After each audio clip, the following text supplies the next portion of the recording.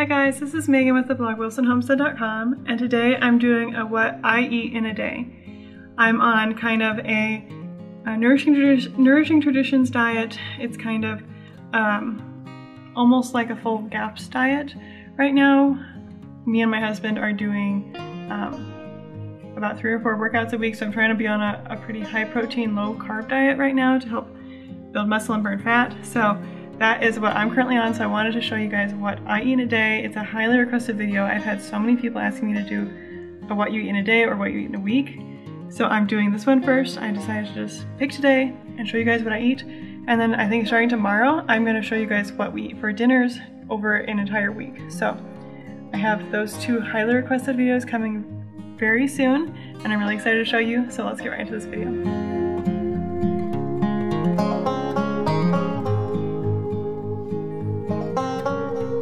So typically in the mornings, I will make the kids breakfast. I'll scramble them eggs or something like that.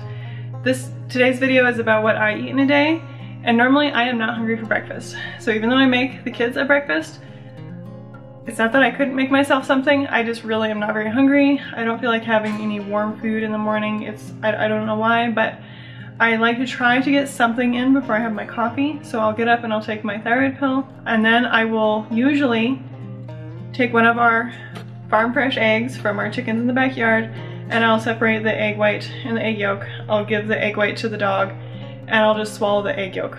Um, egg yolks are amazing for you. They have so many healthy fats and um, has choline and so many important things for you. And if you eat it raw, it's less damaged by heating. So you actually get more of the nutrients that way. So I like to try to eat a raw egg yolk every day and then I will finish it down with a glass of raw milk, and then that's usually all I have for breakfast. And I'll make my coffee, and then I'm normally not hungry until lunch. I don't know why. I just, I'm not normally hungry for breakfast, but I try not to have coffee on an empty stomach. That's why I normally do that. I also take my supplements a couple times a day. Most of these I take either at lunchtime or dinner time.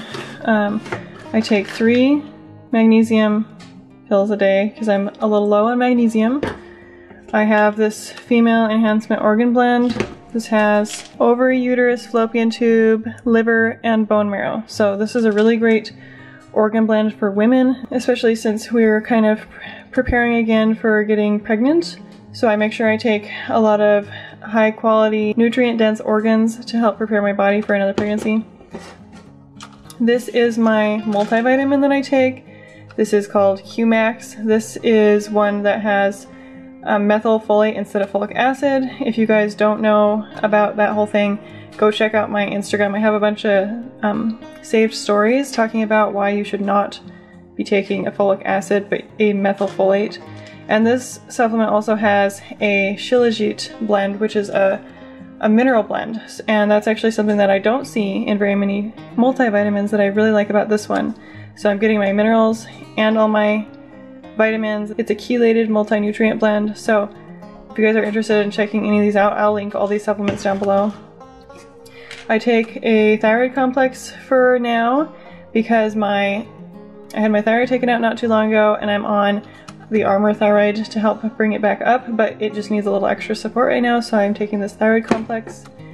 And then, as usual, I take fermented cod liver oil and butter oil, and if you don't know about the benefits of cod liver oil, I highly recommend you go check out the Weston A. Price website. They have a ton of information about why this is a very important thing to be taking. And they don't even consider it a supplement, they actually consider it a food. So I'm just starting dinner in the crock pot so it can have plenty of time to cook. This is duck meat. Um, this is a drake that my husband butchered, I think last weekend.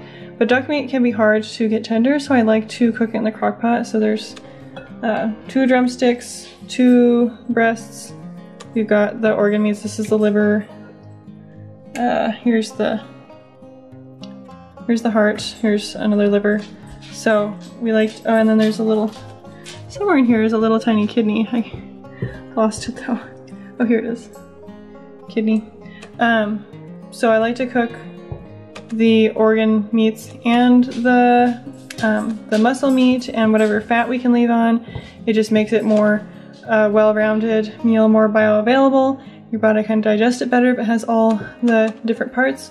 So this is gonna be the base of our dinner. I'm gonna add some sort of a seasoning to it. And I don't know what I'm gonna make for a side yet. I'll probably decide that later. Maybe some sort of a vegetable that I have canned. And then with almost, um, I try to take this with every meal. Um, and I sometimes forget, I don't quite get it at every meal, but this is digestive bitters. This is triggering um, your gut basically to create digestive enzymes, so it just kind of helps in the process of breaking down food. And since my thyroid is too low right now, because we're kind of working on getting my dose regulated, um, I've been having a little bit of gut issues.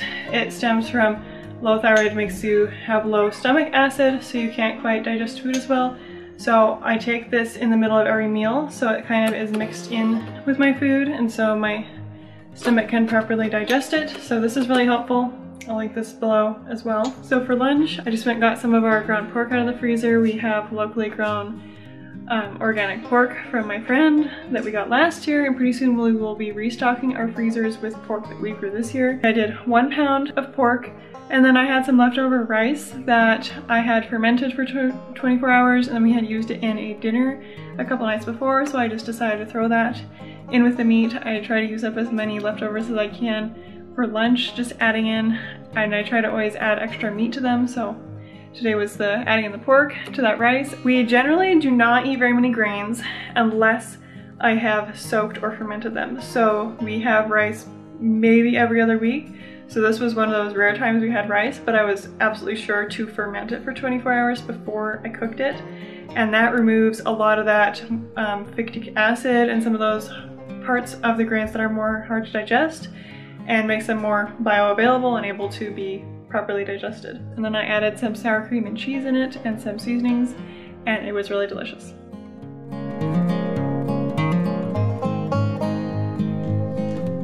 For dinner, for the side, along with the duck and all the organ meats that I was cooking in the crock pot, I chopped up some green bell peppers and some potatoes and zucchini, all from our garden. So this entire meal was grown by us. All the vegetables were from the garden and the duck was from our Muscovy flocks. So that was super cool. So I cut all that up and I fried it in lard that I rendered.